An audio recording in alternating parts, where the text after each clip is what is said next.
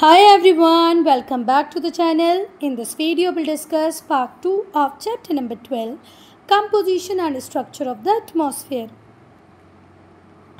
We have discussed uh, till here in part 1. We'll start part 2 with mesosphere.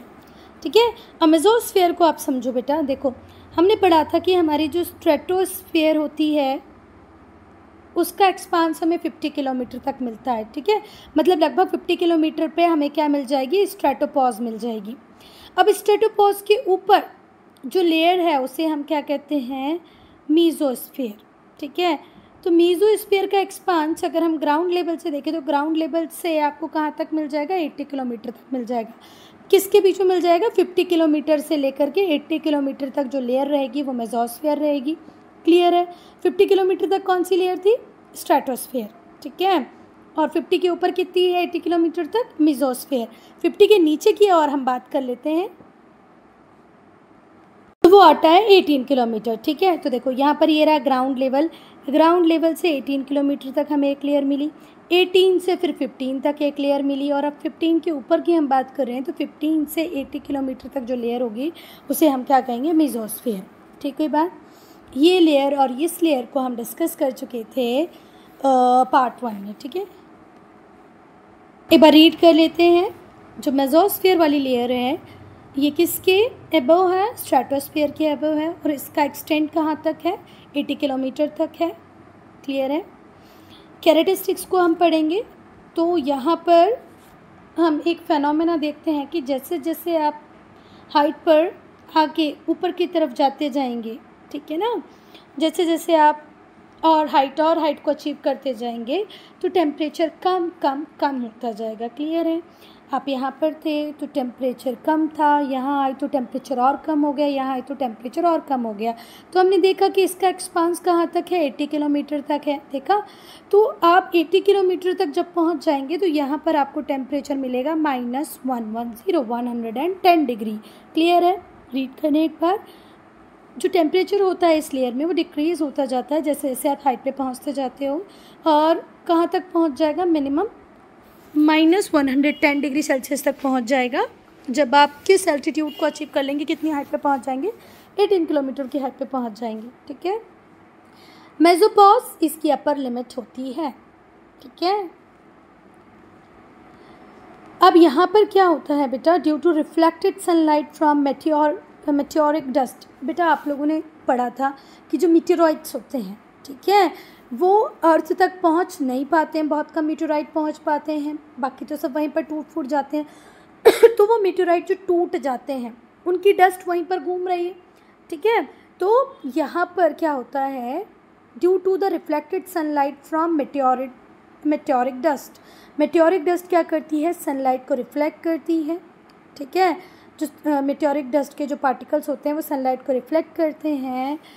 There are wispy clouds found in this layer और इस layer में हमें क्या देखने को मिलते हैं? विस्पी क्लाउड्स हल्के सफ़ेद रंग के बादल यहाँ पे देखने को मिलते हैं। सबको पता है कि जो मिटेरॉइड्स होते हैं, वो अर्थ तक बहुत रेयरली पहुँच पाते हैं, वहीं पर टूट फूट जाते हैं। तो इस लेयर में जो मेट्योरिक डस्ट पार्टिकल्स होते हैं, उससे सनलाइट क्या करती है? रिफ्लेक्ट करती है। यहाँ पर हमें विस्पी क्लाउड्स देखने को मिलते हैं। विस्पी बोले तो वाइट कलर के हल्के हल्के जो बादल होते हैं, पतले बादल, वो दिखाई पड़ते हैं। और बेटा ये जो वर्ड है ना विस्पी इसका मतलब होता है टेढ़े मेढ़े हल्के, पतले, महीन, ठीक है? तो वैसे बादल हमें देखने को मिलते हैं इस लेयर में। बेटा अब हम पढ़ेंगे थर्मोस्फेयर को। तो थर्मोस्फेयर कहाँ से शुरू होती है? तो मेजोपॉज से शुरू होती है। इट एक्सटेंड फ्रॉम मेजोपॉज कहाँ से शुरू होती है थर्मोस्फेयर मेजोपॉज से। और इसकी कितनी लेयर है? टू एक है आइनोस्फेयर और दूसरी एग्जॉस्फेयर दो लेयर होती हैं थर्मोस्फेयर की। आइनोस्फेयर और एग्जॉस्फेयर और एक कहाँ से शुरू होता है मेजोपॉज से। अब अगर हम आइनोस्फेयर की बात करें बेटा तो आइनोस्फेयर कहाँ तक एक्सटेंड करता है? 400 किलोमीटर की हाइट तक एक्सटेंड करता है। फिर हमने देखा शुरुआत में 18 किलोमीटर था, फिर हमने देखा 50 किलोमीटर तक था, फिर हमने जो लास्ट लेयर पढ़ी वो 80 किलोमीटर थी। अब यहाँ पर हमने देखा कि मेजोपॉज जो है यहाँ से चालू होगा हमारा आइनोस्फेयर तो कहाँ तक चलेगा? 400 किलोमीटर तक चलेगा।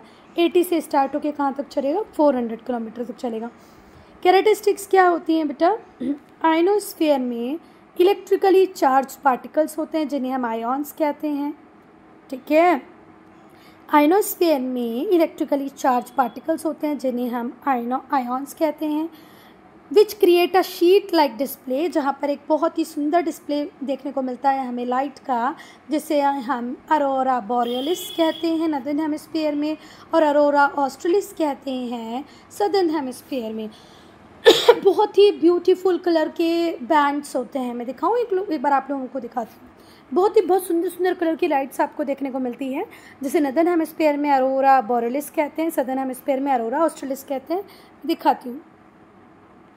इस तरीके से हमें सुंदर सुंदर लाइट के बैंड्स दिखाई पड़ते हैं। ये देखो, यहाँ ग्रीन कलर दिख रहा है ग्रीन रेड दिख रहा है डार्क ग्रीन दिखता है है ना? इस तरीके के बैंड दिखाई पड़ते हैं। हमें नदन हेमस्फेयर में भी और सदर्न हेमस्फेयर में भी।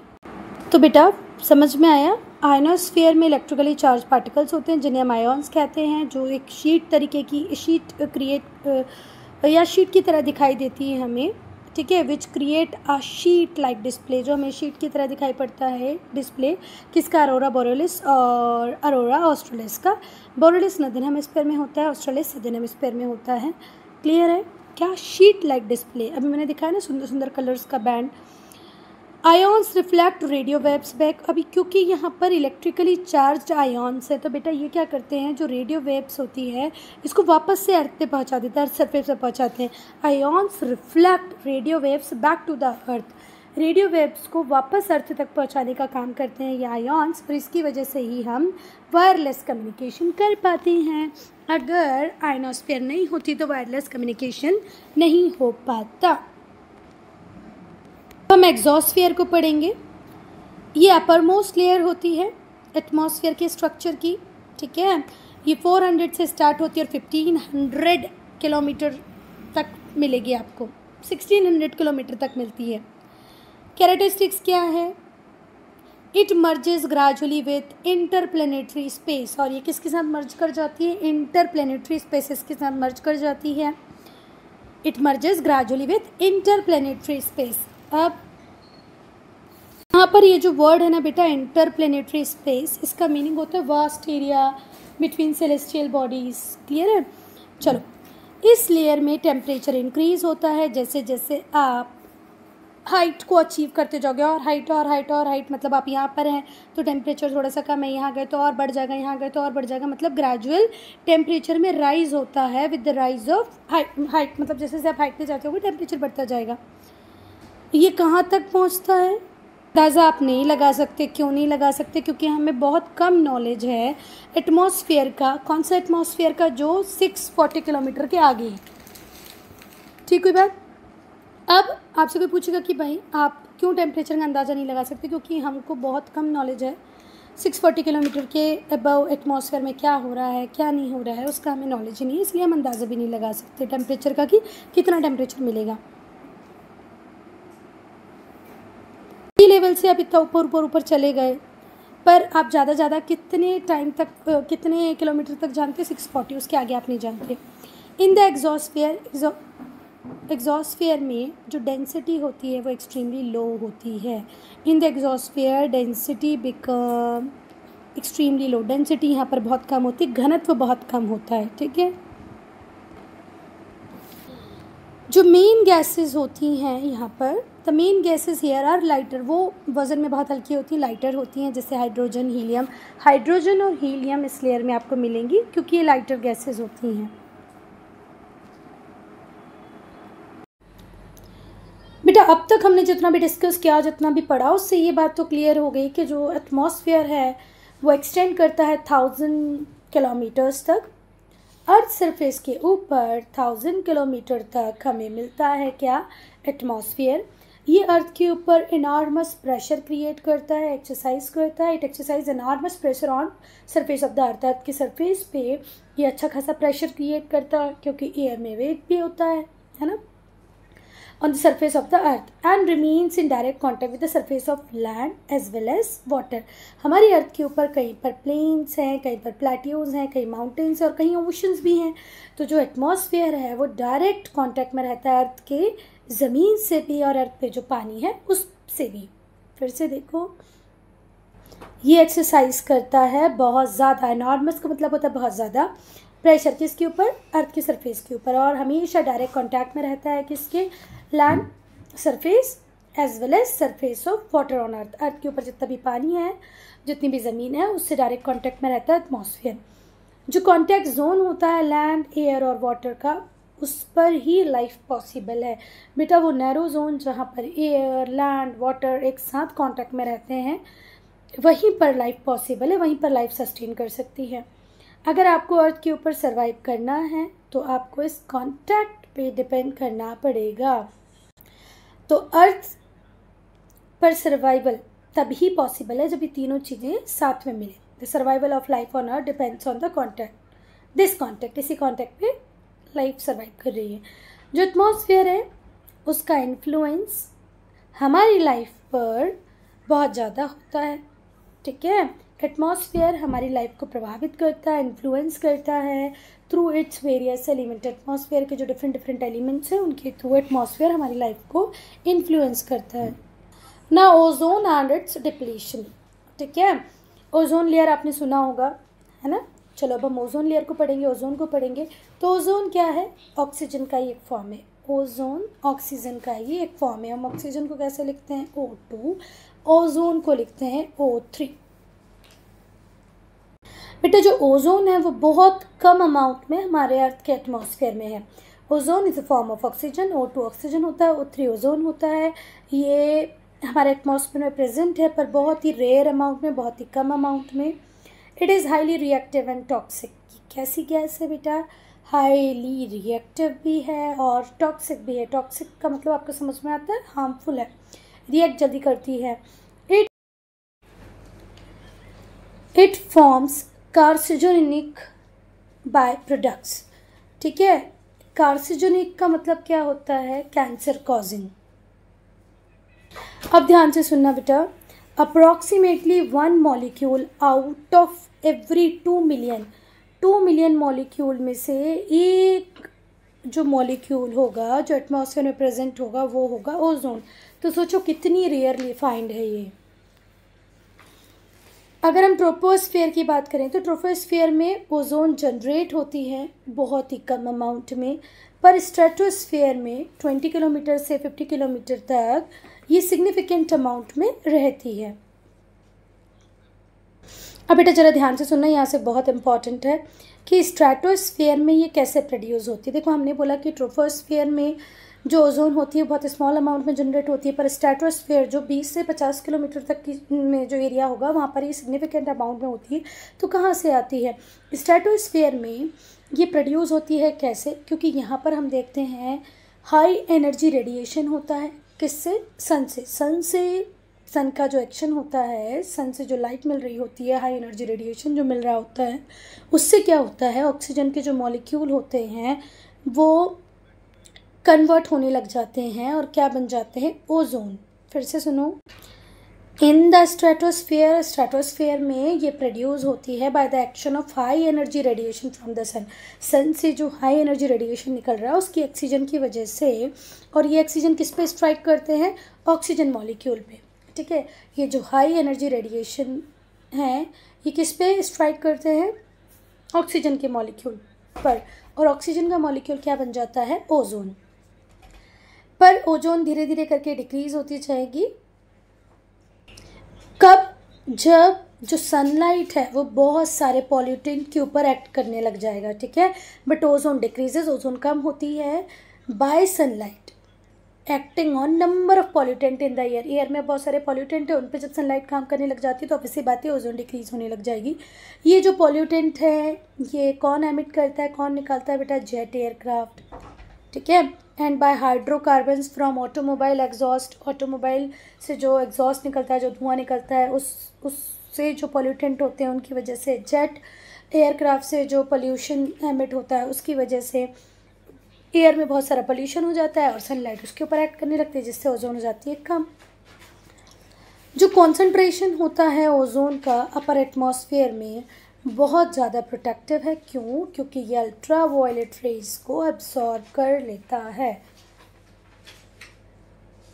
बेटा, ये जो ओजोन लेयर है, ये हमारे लिए बहुत फ़ायदे वाली है, क्योंकि ये अल्ट्रा वायलेट रेज जो होती है, उनको एब्सॉर्ब कर लेती हैं एब्जॉर्ब कर लेती हैं। बेटा, वो ओजोन लेयर जो हमें कहाँ मिलेगी? स्ट्रेटोस्फेयर में मिलेगी। वो अर्थ को प्रोटेक्ट करती है। ठीक है? The ozone layer in the stratosphere also protect the earth and its biosphere हमारे बायोस्फेयर को, हमारी अर्थ को प्रोटेक्ट करने का काम करती है ओजोन लेयर जो कहाँ है? स्ट्रेटोस्फेयर में। ठीक है? फ्रॉम द एक्स्ट्रा हीट जो एक्स्ट्रा हीट आ रही होती है, उससे अर्थ को अर्थ के बायोस्फेयर को प्रोटेक्ट करती है। But there is the danger of its depletion through harmful gases बेटा, हम ह्यूमन बींग जो कंटिन्यूसली हार्मफुल गैसेस को क्या कर रहे हैं? एमिट कर रहे हैं, कई बार पेंट से, कई बार रेफ्रिजरेटर से, कई बार और भी कोई इलेक्ट्रिकल इक्विपमेंट हो उससे तो क्या होता है, ये जो क्लोरोफ्लोरोकार्बन होती है, ये जाके हार्म करती है हमारी ओजोन लेयर को। पर यहाँ पर बहुत ज़्यादा खतरा बना हुआ है कि ओजोन लेयर डिप्लीट हो सकती है किसके थ्रू हार्मफुल गैसेस से, और ये हार्मफुल गैसेस कौन सी हो? सकती सी एफ़ सी क्लोरोफ्लोरोकार्बन जो जो प्लास्टिक पेंट होता है पेंट होता है, उससे रिलीज़ होती हैं ए सी से रिलीज़ होती हैं।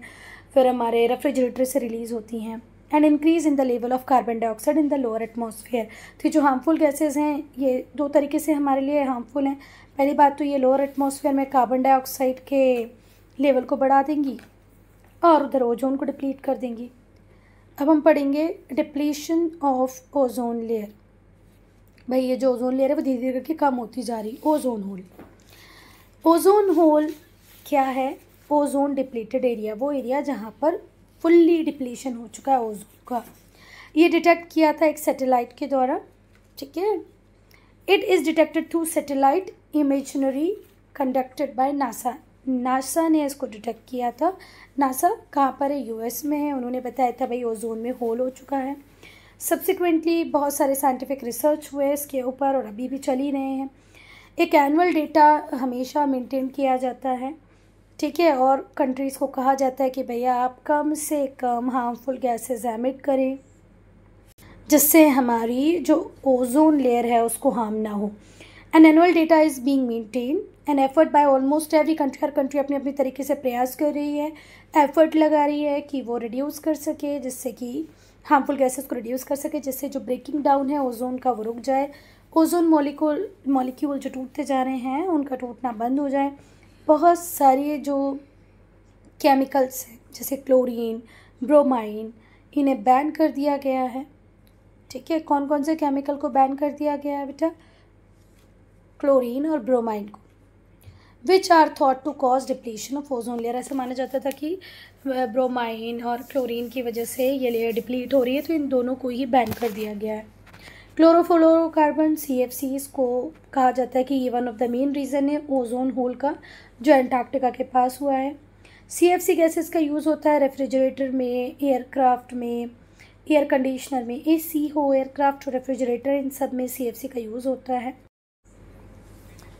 बेटा, ये जो सी एफ़ सी कंपाउंड्स होते हैं, ये एटमॉस्फेयर में जाते हैं और फाइनली वहाँ पर जाकर, कहाँ पर? स्ट्रेटोस्फेयर में जाकर टूटते हैं, ठीक है?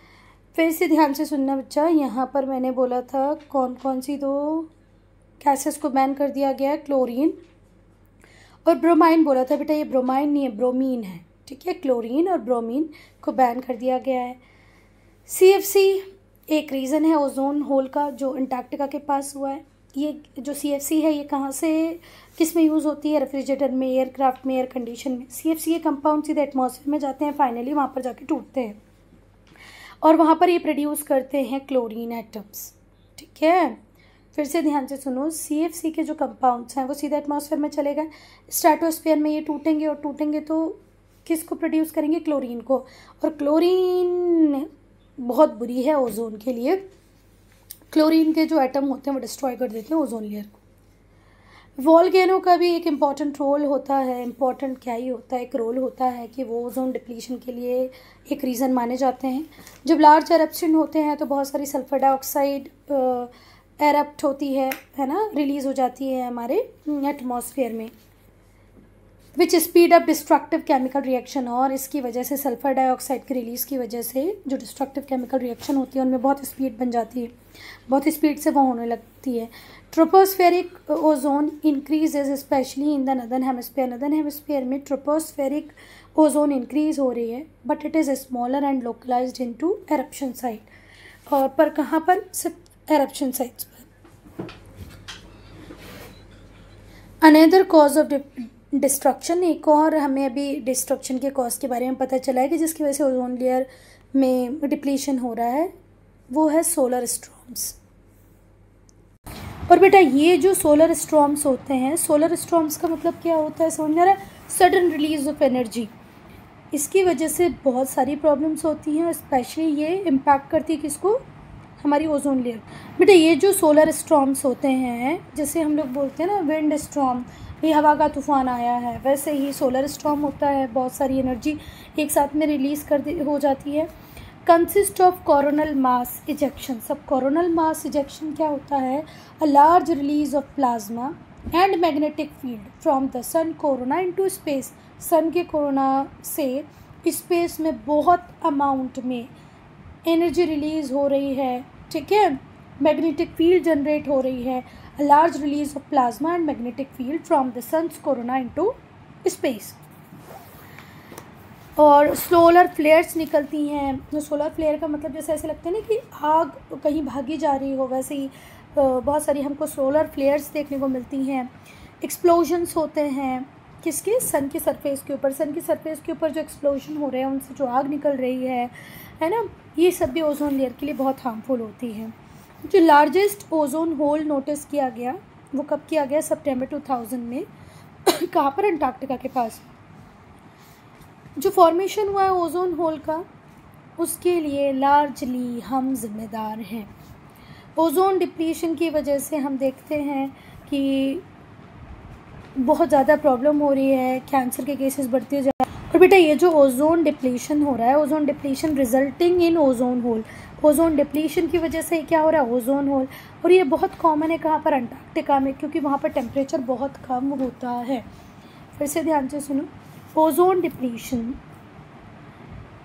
के लिए ह्यूमन एक्टिविटीज़ बहुत ज़्यादा रिस्पॉन्सिबल हैं। वो जो ओजोन होल है, वो बहुत कॉमन है अंटार्कटिका में। क्यों? क्योंकि यहाँ पर जो टेम्परेचर होता है, वो बहुत कम होता है। क्योंकि बहुत ज़्यादा ठंडी होती है अंटार्कटिका में, कब? विंटर्स के टाइम पे। तो जो स्ट्रेटोस्फेरिक आइस क्लाउड्स होते हैं, वो केमिकली एक्टिव हो जाते हैं, ठीक है? किसके प्रोडक्शन के लिए? ब्रोमीन और क्लोरीन के प्रोडक्शन के लिए, जो हमारी ओजोन लेयर के लिए बहुत ज़्यादा हार्मफुल है।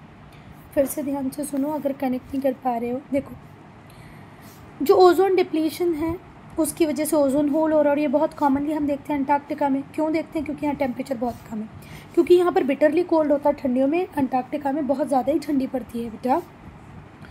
तो जो स्ट्रेटोस्फेरिक आइस क्लाउड्स होते हैं, वो किसको प्रमोट करते हैं? केमिकली एक्टिव क्लोरीन और ब्रोमाइन के प्रोडक्शन को। इसकी वजह से ओजोन डिस्ट्रक्शन होता है। When sunlight returns in Antarctic spring जैसी सनलाइट अंटार्कटिक में वापस से आ जाती हैं। देखो, तुम लोगों ने पढ़ा होगा कि दो सिचुएशन होती हैं। जब रिवॉल्यूशन होता है अर्थ का सन के पास एक पैरी एलियन और एक aphelion aphelion position में क्या होता है? अर्थ सन से सबसे ज़्यादा दूर रहती है। और जो सदन हेमिस्फीयर है, वो तो और ज़्यादा दूर रहता है, इसलिए हम कहते हैं कि अंटार्कटिका में बहुत ज़्यादा ठंडी पड़ रही है। अच्छा दूसरी तरफ़ अगर हम आर्कटिक की बात करें आर्कटिक एटमॉस्फेयर की, ठंडा तो होता है पर इतना भी ठंडा नहीं होता है कि यहाँ पर फुल्ली डेवलप्ड एक ओजोन होल बन पाए। इसीलिए हमें शुक्रिया करना पड़ेगा किसको पेरी हेलियन को। देखो पेरी हेलियन एपीहेलियन क्या होता है, नहीं समझ में आया तो ये रही अर्थ और ये रही अर्थ और सन सेंटर में नहीं है, थोड़ा सा साइड में है। तो इस सिचुएशन में क्या होता है, और इस सिचुएशन में क्या होता है, एक मिनट। एक मिनट भाई, एक मिनट ये रही हमारा सन, ये रही अर्थ ये रही अर्थ यहाँ पर अभी नदन हेमिस्फेयर में ठंडियाँ पड़ रही हैं, क्योंकि डायरेक्ट रेस सदन हेमिस्फेयर पे तो यहाँ पर ठंडियाँ होंगी, पर उतनी ठंडियाँ नहीं होगी, क्योंकि हम सन के पास में अब यहाँ हम सन से दूर भी हैं और यहाँ पड़ रही हैं ठंडियाँ तो यहाँ की ठंडियाँ हो जाती हैं एक्सट्रीम तो जो आर्कटिक का एटमॉस्फेयर है, ठंडा है, पर इतना भी ठंडा नहीं है कि बढ़िया सा, बड़ा सा ओजोन होल यहाँ पर तैयार हो जाए। बेटा, हम वीडियो को यहीं ख़त्म कर रहे हैं। कोई सजेशन है वीडियो इम्प्रूवमेंट के लिए तो please do write in comment section और पार्ट थ्री बनाएँगे, जिसमें हम डिस्कस करेंगे ग्लोबल वार्मिंग को और बच्चों चैप्टर को।